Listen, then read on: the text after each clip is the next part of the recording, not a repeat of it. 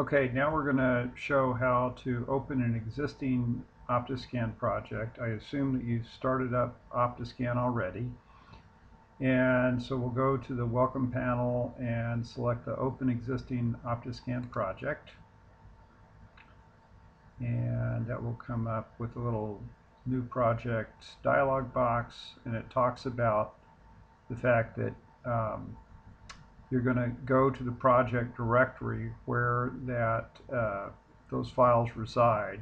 And then you should always label your project uh, file with an identifying name in the front because I don't have a separate extension for it. And uh, that's the file that you want to actually open.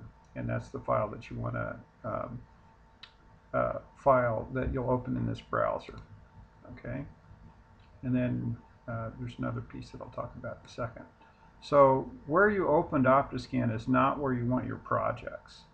Uh, my projects are under my, um, for example, a class that I'm teaching, um, a grading uh, example here, and then here's the file that I want to open. I've got a project directory here under oscan proj underscore gradings and then there's some files in there, some folders that have Optiscan stuff in them.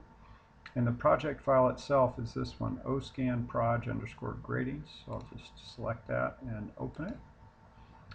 And it'll come up with the project uh, interface window. And let's say load system. And the uh, main project window comes up and there you go. Now as soon as you open it, you really should go to your system bar and say Save Project. And that's just a little safety to let you know that you're all active and going. And that's it.